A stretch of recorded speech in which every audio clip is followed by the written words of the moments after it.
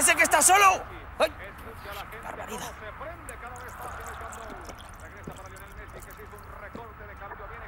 Ahí, ahí, ahí, ahí, ahí. Pásasela esa, pásasela ese. ¡Tira! ¡Tira! ¡Tira! ¡Uy! ¡Ay, qué malos que son!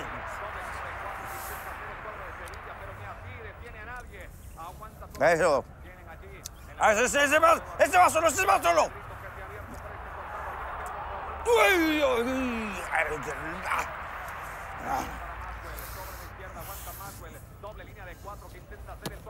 Venga. Que sois más malos que para qué. ¡Tira, tira puerta! ¡Tira puerta! ¡Uy!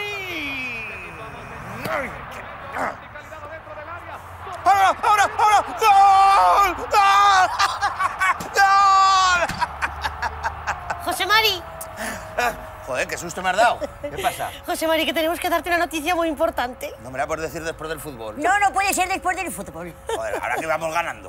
Pues resulta que Javier ha ido esta mañana al vertedero, que yo, yo le digo muchas veces que no vaya al vertedero, pero él no me hace caso y entonces se va. El caso es que se ha ido María al. Jesús, al Sí, grano. Bueno, el caso es que ha ido con Adrián. ¿Sabes quién es Adrián, no? El amiguico ese que viene muchas veces que son del colegio, que vienen a María estudiar. que Jesús, luego- al grano. Bueno, el caso, que han encontrado un cuadro. Y ¿Pero entonces quién no- es?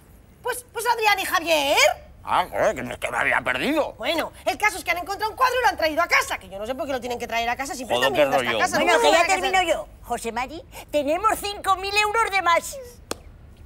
Siempre claro. Que sí, que sí, que el valor del cuadro está estimado en 5.000 euros.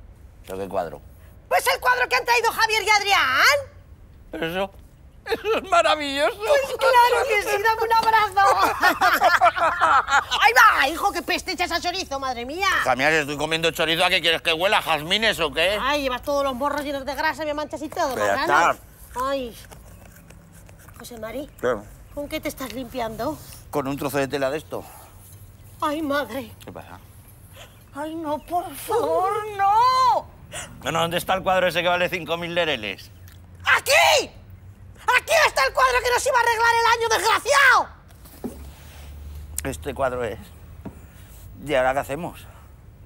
Tú, correr. No, a ver, a ver, madre, tranquilícese un poco. No, no hace falta ponerse así. María, María Jesús, dile tú algo. Abuela, ¿Qué? ¿tiene otra escopeta? Toma. No, a ver, chicas, por favor, un poco de calma, ¿eh?